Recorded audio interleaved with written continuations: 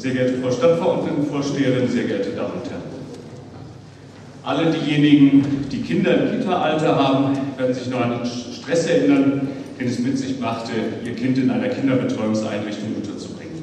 Also möglichst sämtliche Kitas in Wohnortnähe oder in einem alltagstauglichen Radius entlang des Wegs von der Wohnung zum Arbeitsplatz zu recherchieren, idealerweise in möglichst vielen Kitas eine Vorabanmeldung persönlich abzugeben, von Zeit zu Zeit nochmal dort anzurufen, um den Stand der Platzzuvergabe erfragen und dann zu hoffen, dass in einer der ausgewählten Kitas ein Platz frei wird oder man zumindest auf der Warteliste so weit nach vorne rutscht, dass man zum Zuge kommt, bevor es zu ernsthaften Problemen bei der Vereinbarkeit von Arbeitszeit und Erziehungszeit nun gibt es mittlerweile über das Online-Angebot WebKita einige Erleichterungen, unter anderem durch die dort mögliche Vorabanmeldung, aber bei dem Versuch, das Verfahren zu verbessern und zu vereinfachen, ist man offenbar auf halbem Wege stehen geblieben. Besonders transparent für Eltern und Träger ist das alles nach wie vor nicht.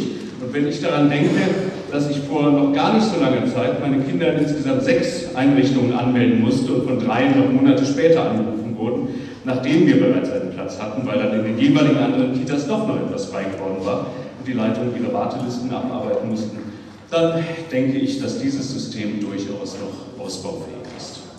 Trotz des Rechtsanspruchs auf einen Kita-Platz befinden sich viele Kinder noch auf Wartelisten und die Eltern müssen sich selbst bei verschiedenen Kitas auf Wartelisten nicht nur eintragen, sondern auch austragen, wenn sie anderweitig inzwischen einen Platz gefunden haben.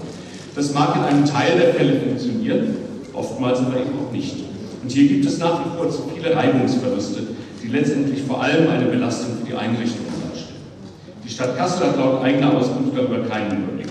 Die von uns hier beantragte Einführung einer zentralen Erfassung der Kita-Plätze und ihrer Belegung könnte hier Abhilfe schaffen. Auch in der Hinsicht, dass die Stadt dadurch auch wüsste, wie viele Plätze tatsächlich fehlen, statt nur die Bedarfserhebung zu machen. In die zentrale Erfassung können Eltern ihren Bedarf entweder direkt online oder vor Ort über die Kitas eintragen Ergänzend könnte diese Möglichkeit auch im Bürgerbüro angeboten werden. Kindertagesstätten tragen lokal angemeldete und vergebene Plätze in die zentrale Erfassung ein. Dadurch wäre gerade das Nachrücken vereinfacht, da Kinder auf mehreren Wartelisten automatisch in allen anderen gestrichen würden, sobald sie einen Platz gefunden haben. Für Eltern, die noch keinen Platz gefunden haben, können aktiv Alternativen angeboten oder geschaffen werden. Das wäre durchaus eine erhebliche Serviceverbesserung für Eltern und Kindern im Krippen- und Kindergartenalter. Sie sparen Zeit und Wege und für die Stadt ist es so möglich, die Platzvergabe besser zu steuern, Transparenz zu schaffen, Mehrfachanmeldungen zu verhindern und eine stichhaltigere Bedarfsplanung vorzunehmen. Kindertagesstätten könnten dadurch rechtzeitig Bedarf an zusätzlichen Kapazitäten anmelden. Sie erhalten einen realistischen Überblick sowohl über die tatsächlich Interessierten als auch über die gerechte und ausgewogene Verteilung der Kinder. Gerade vor dem Hintergrund steigender Kinderzahlen und des notwendigen weiteren Ausbaus der Kapazitäten wäre die Annahme unseres Antrags ein Schritt hin zu mehr Transparenz für Eltern, Träger und Stadt und zu einer leichteren und reibungsloseren Kita-Platzvergabe.